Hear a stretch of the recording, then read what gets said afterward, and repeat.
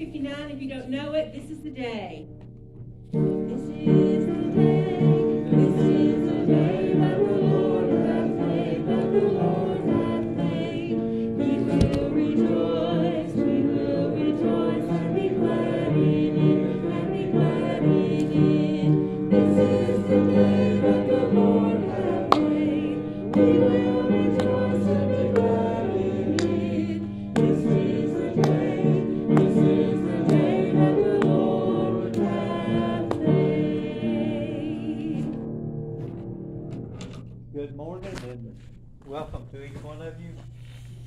for making the effort to be here. Glad to see some here that hadn't been able to be here for a week or two. And I appreciate y'all making the effort. Our uh, announcements, the Sunday school is Sunday morning at ten. Our mor- our, our Sunday school class was a little light today, so, uh, some of you come and participate with us. Our, uh, uh, morning worship service is at eleven, our afternoon service at five thirty. Uh, or we have any, other- oh, and Wednesday night at seven, we've been having a prayer meeting back in the fellowship hall. Uh, do we have any other announcements? I'd like to say something. My EMT class, which Robert is participating in, is having a pinning ceremony. And it will be here in the church on June the third, it's a Friday at six P M. If y'all would like to come and support our pastor as he gets, it's kind of a graduation kind of thing. It's just, it's just a small thing, then we eat afterwards. That's, the- that's the best part. is we eat afterwards. You know? Just if you wanna bring something, we're gonna do finger food snacks. Nobody My bring last day is fingers. the thirty-first. Your what? My last day at school Okay. is the thirty-first, so I'll be off all that whole day. If you need Probably help. if you could come help me clean Right. and straighten up the sanctuary Yeah. and, Right. and the bathrooms. Yeah. Cheryl, you're being saged. Yes.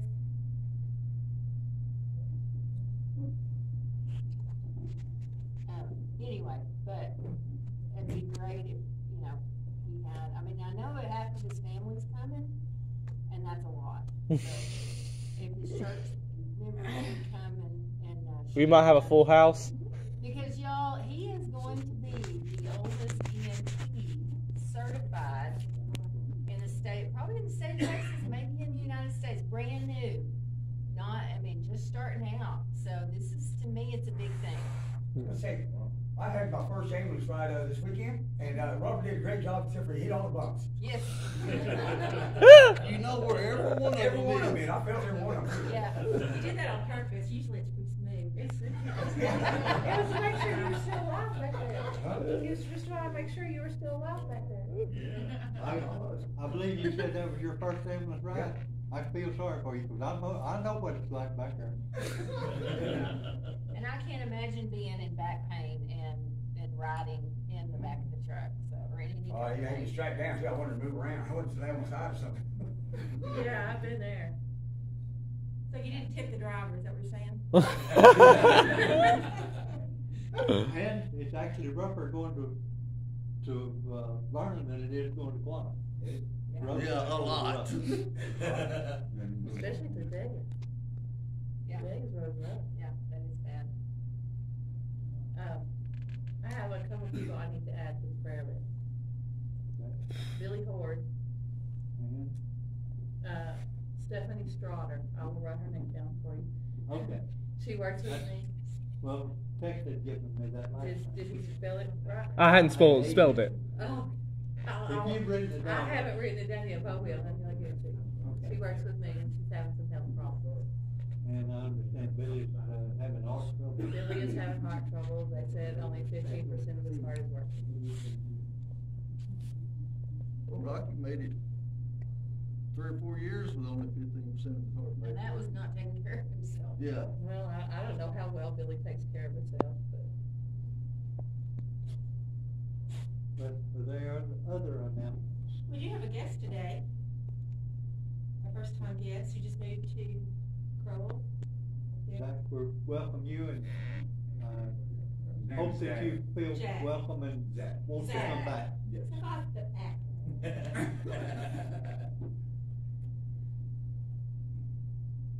Thank you, glad to be here. Our We'll Father in go see you heaven, again. Oh, yes. Come to say thank you, Lord, for the blessings you've given us. Thank you, Lord, for these people who have chosen to come to worship you this morning. And we pray, Lord, that you will go with us through this service. We pray, Lord, for your healing touch for those that's on the prayer list. These that we have added. And we pray, Lord, that you'll help us as we sing praises to your name. Me, Lord, to rightly divide your word in Jesus' name. Amen. Right, let's turn to page one twenty-two, tell me the story of Jesus. Tell me the story of Jesus,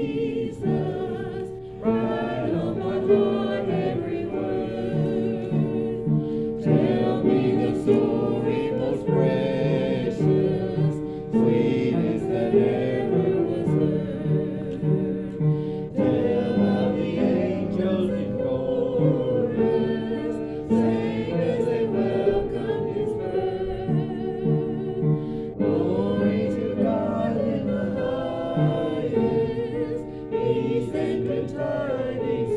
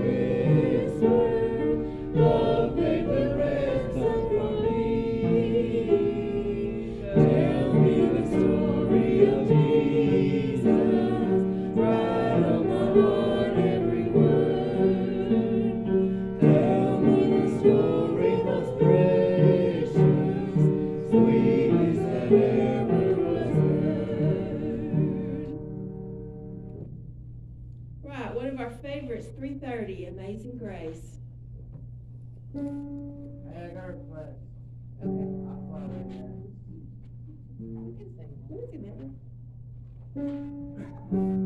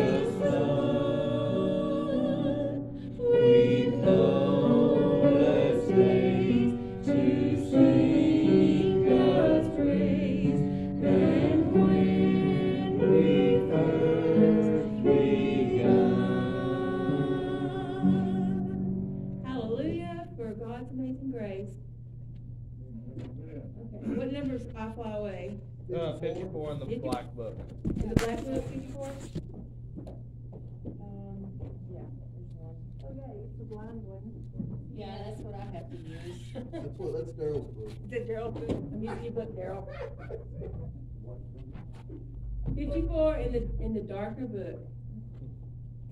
Not to be racially insensitive. That's right. You want to be politically correct.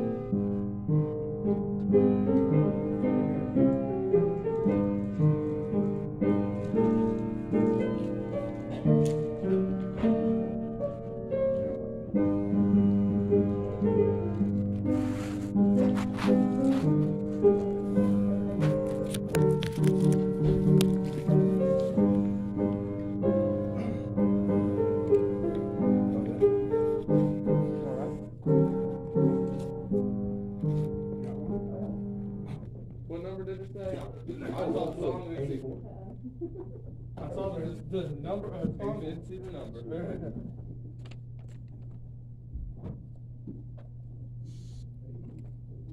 I will try this, guys. Y'all oh, just- Oh, no, y'all just go on without me if y'all lose me.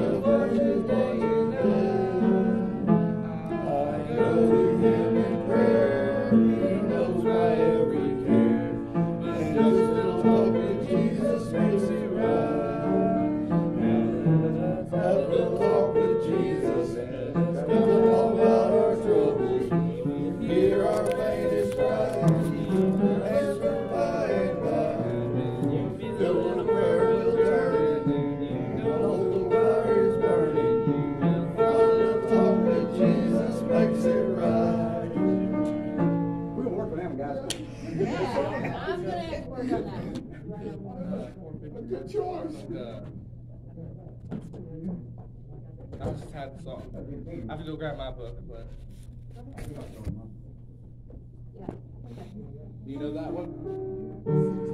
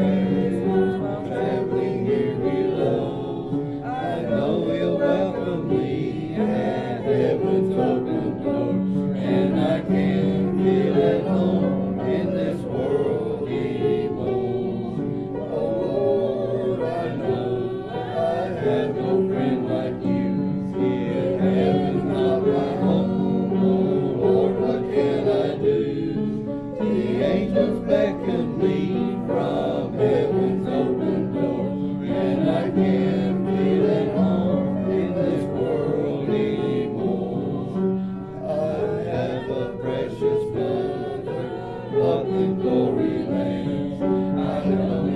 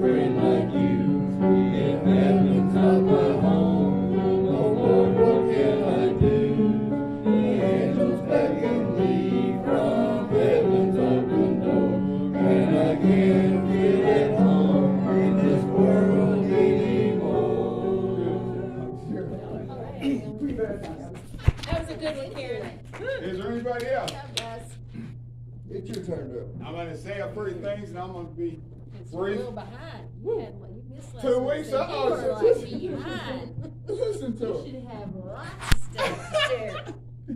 Here's what I'm going to speak on in that storm. Terrible storm, right? Awful storm. I have drove those back ro- roads and saw the tin and stuff and all the stuff just strode out in the fields. It looks awful, right? Looks terrible. Here's what I saw in that, and I wish Michael was here. Here's what he said. He said, Look what the Lord done. And it's scary, an, an act of God, right? And it was the Lord. Hey, there are some folks who say, well, Daryl, how is that the Lord? Everything that happens is the Lord. Here's what I got from that. As Michael said what he said, I could feel a chill down my spine as I looked out there and seen that. I was touched, I was shocked, and as I drove in that curve and seen all of that destruction, I asked myself, what good can come of this, right? Why would he let something such happen? Asked myself as I drove and I just seen all of that destruction. It's a warning. I've got some friends that, that stay out there and, and I saw them and we stopped and we talked. And here's what I heard from everyone I talked to. They said, the forecasters were right. They got it right this time. Everything they said was going to happen happened. The storms, the wind, the, the hail, and everything. They were right this time. I sat up there at my apartment on the front porch and I was looking toward Quanah the whole time and I watched the rain, the wind, and the hail, and I said, What a magnificent show of the Lord.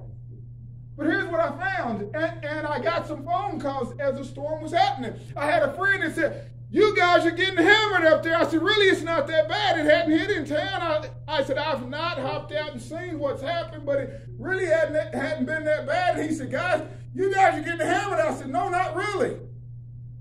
I sat on the front porch looking toward Quanah. Didn't seem that bad to me. But once I got out that next day and about, I realized I had missed everything. It had tore up everything. Here's what's heavily on my heart. The forecasters were right. They got it right this time. The Lord gets it right every time. There's another storm that's coming. And I'm going to miss this next one too. I'm going to make sure I'm gone. I'm going to make sure I'm home with him. Because you know what? Hail like fire, it didn't rain down in that storm. The Bible speaks of how that storm is going to occur and it's going to be continuously. There's not going to be any stopping that storm. And all that was heavily upon my heart, I told I told Michael this. I said, but at least we still have the Lord. He's here with us. He's going to see us through this. But how about that next storm that he's forecast? The, Bible. See, it says it over and over and over. And, and there are some people right now who don't believe, but here's what they're going to say once it began. The Lord was right. It's happened. What am I going to do? They're, they're lost, right? Here's the story that we need to pass on. There's another storm that's coming. And the Lord is right. Hey, there's some folks who don't believe it, but He's right. But I'm happy I missed that storm. I'm happy I wasn't in that storm. I'm happy this next storm is coming. I'm not going to be in that storm. But how do we share with the world they can miss that storm? What do we need to share with them? Um, if you know the Lord, if you're saved, then you, just the way I sat on my front porch, I wasn't worried. No matter what happened, I didn't have to worry. Even had I been in that storm, even had I perished, it wouldn't have mattered, right? Why? Because I'd be home with him. But how about those who are lost? How about those who are lost? There's another storm that's coming. And it happened fast, right? It happened so fast, and all I could think of, the folks who lost homes and whatnot, I can hear them saying it happened so fast. In just a few minutes, all was lost. If we're not saved in this next storm, it happens that fast. All is going to be lost. But it doesn't have to happen. But here's what was so great. I was happy to hear about that storm, that nobody perished. But it says here in the Bible, in this next storm, there's folks who are going to be lost. That wide gate and that narrow gate, he says we are to enter how? At the narrow gate and not at the wide gate. This is the message we have to share. There are going to be folks who are going to be lost. Our time left after we're saved, we are to help lead people to Christ. So they are not lost. I'm going to close with this. As we see things like that, it reminds us of what? How important we are. The Lord hung on the cross, He paid the price. He, he has it all. All we have to do is accept it. Hey, let's share with the world. What is your, what is this life? It's a sorting pen. I'm a hog farmer, but it's a sorting pen. I sort pigs all the time. At, at the end of this life, you're going to be sorted. He's going to sift through us like wheat, is what the Bible says, right? Hey, if, if we've done what we have to do, then we're going home with Him. It's just that simple. Hey, if we haven't, where are we headed? To hell. That's what we need to share with the world. Hell is alive and it's real, and it's going to occur. The same way that storm did. It's swift, it's fast. All will be lost if you're not saved. So let's share with the world. The Lord has paid the price. All we have to do is accept it and serve the Lord. Let's share that. That's all I got.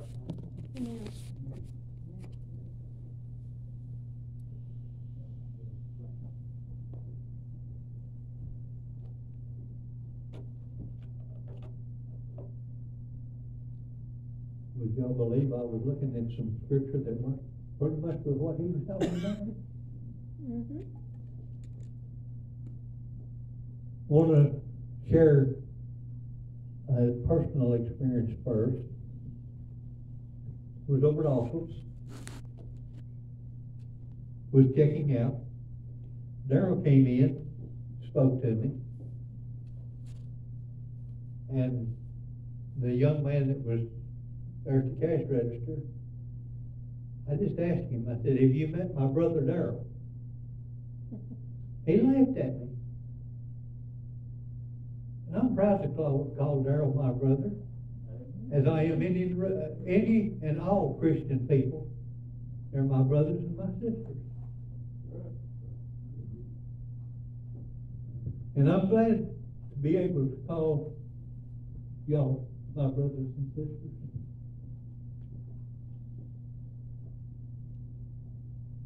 In Matthew 25, and I'm going to begin in the 31st verse, and I don't even know how far I'm going.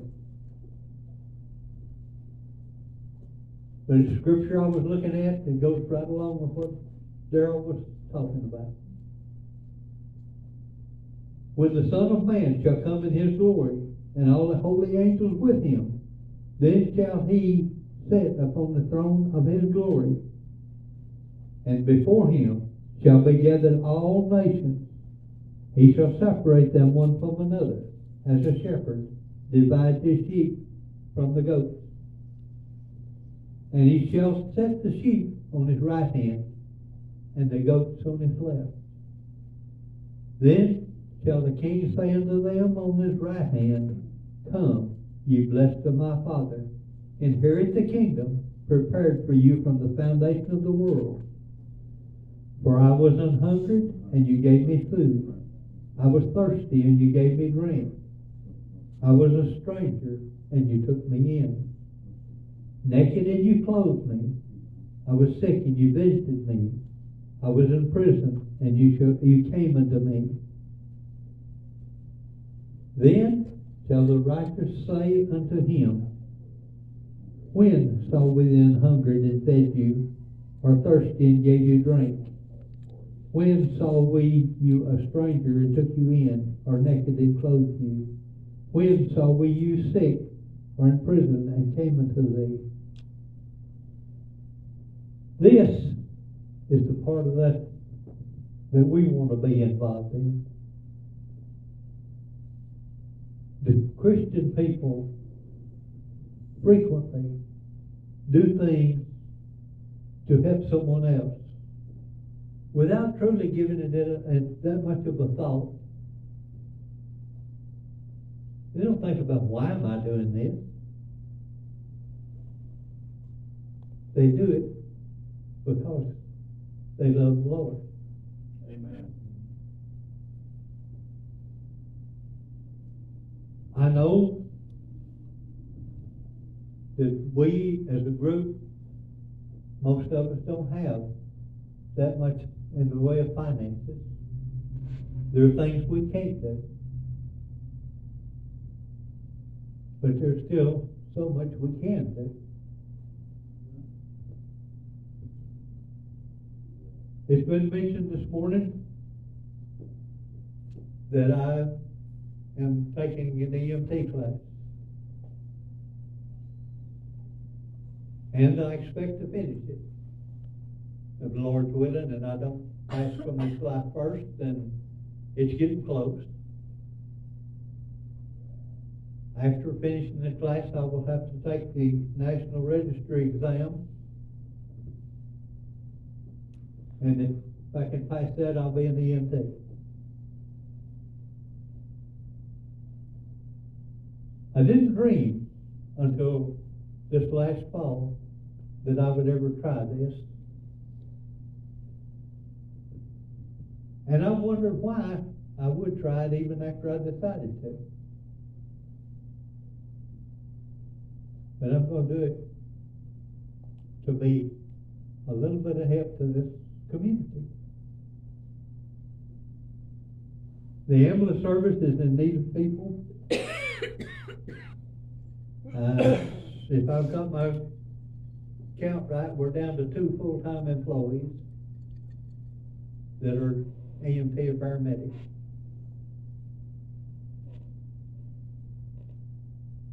You need four people on duty every day.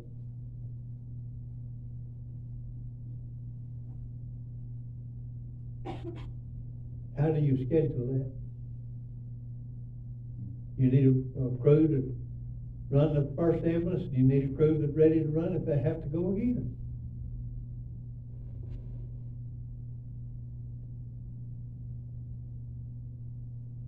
Too many days, we don't have a backup crew.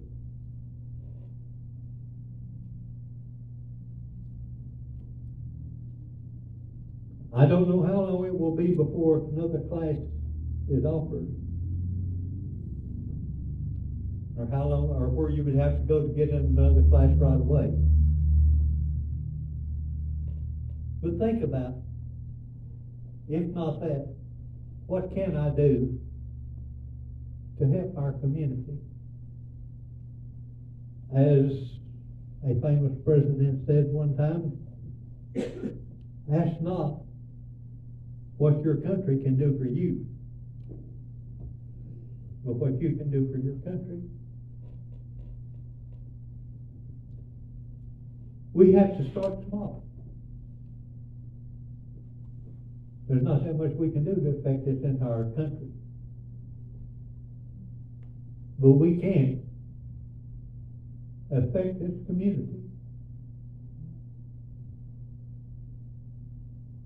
And while I have chosen to try to be a benefit to this community through the ambulance service,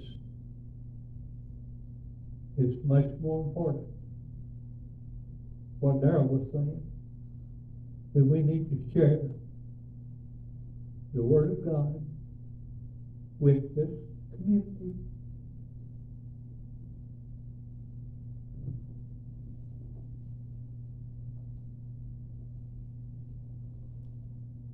It goes on to say in verse 40, The king shall answer and say unto them, Verily I say unto you, inasmuch as you have done it unto one of the least of these, my brethren, you have done it unto me.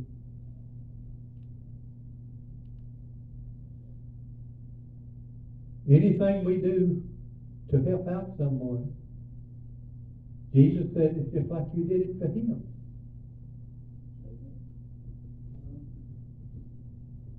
Now the sad part is that not everybody is going to hear Jesus say, come, you blessed.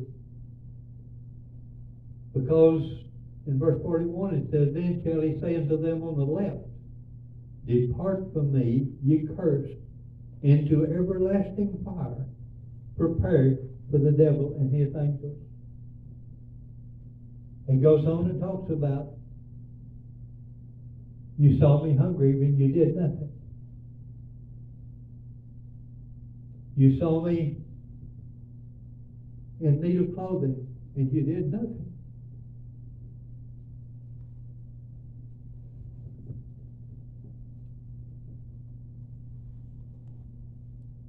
There is another thought to go with that. We can tell the world, this community, how much we love them.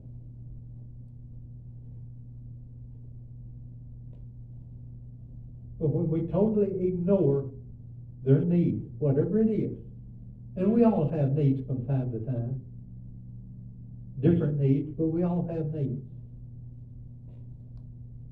And when we totally ignore the needs of our community and tell them how much we love them, are they going to believe in you then?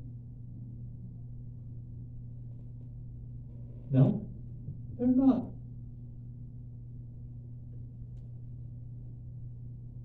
As Daryl said, narrow is the gate that leads to righteousness, and narrow is the gate that leads to heaven. And wide is the gate that leads to hell. And many there be that go there.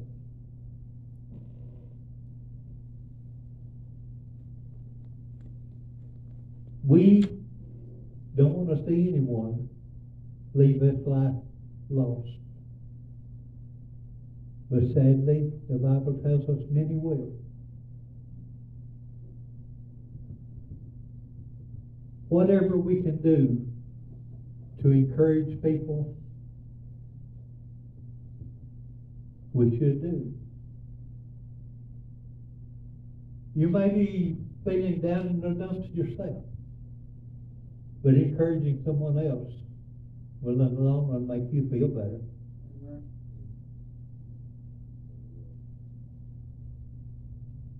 Some of us can't do a whole lot.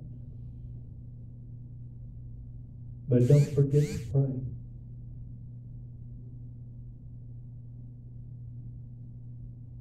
We can all pray for our fellow man. And some of us can do a little more. And when we can, we should.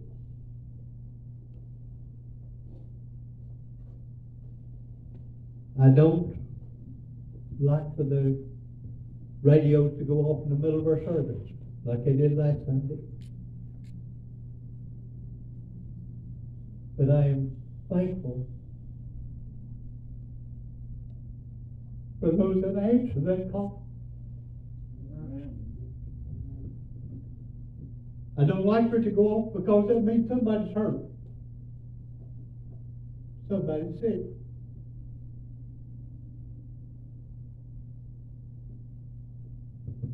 And when it does go up in service, I'm going to stop and pray for them.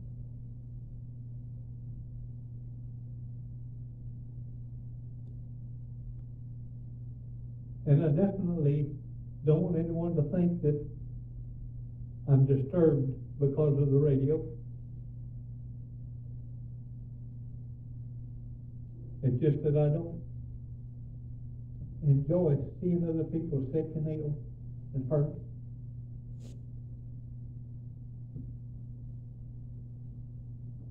But if I can go to them and help them, get them to help, then I should. As I told Elton one day when I asked him what he thought about me working with the ambulance, The church is first with me.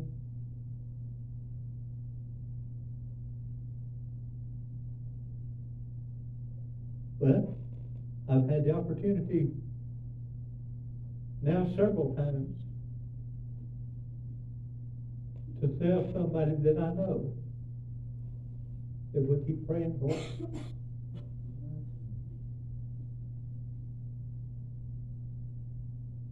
Sometimes that opportunity for somebody I've never seen before. As long as I've been here in Roll, they still people I don't have a clue who they are.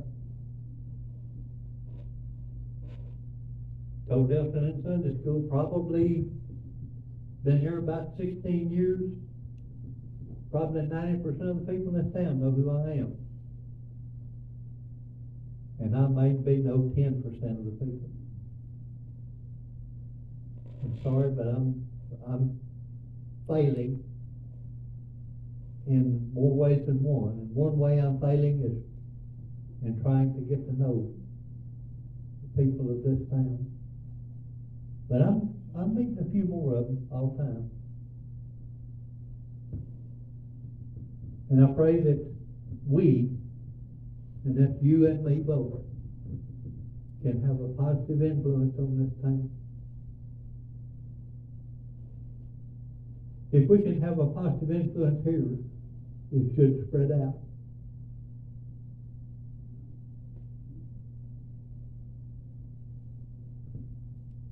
Sadly, there are many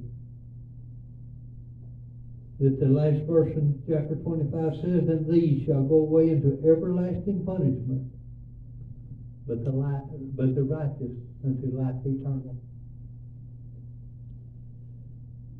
The good thing about life eternal is it doesn't have an end. The bad thing about punishment eternal is it doesn't have an end. The song that we sang this morning says that when we've been there 10,000 years, we don't have any less days to sing God's praise. If 10,000 years doesn't shorten it any, that's as good a definition as I know of to understand that there is no end to eternity. And we all are going to spend eternity hopefully we are all going to spend eternity in heaven and not in hell. But we are all going to spend eternity. What is your invitation? 294.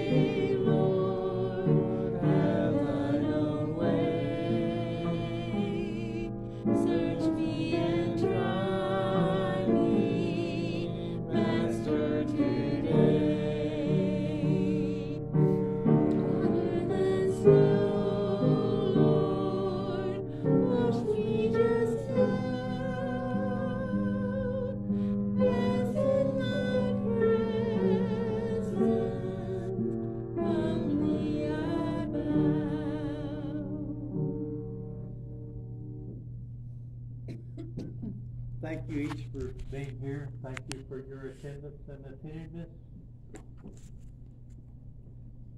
Is there anything further before we go?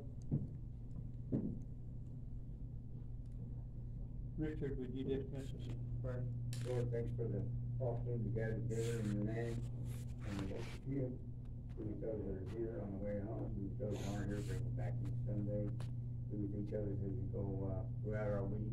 Help us to be what you want us to be and reach out to those who don't know you. And- Amen. Amen.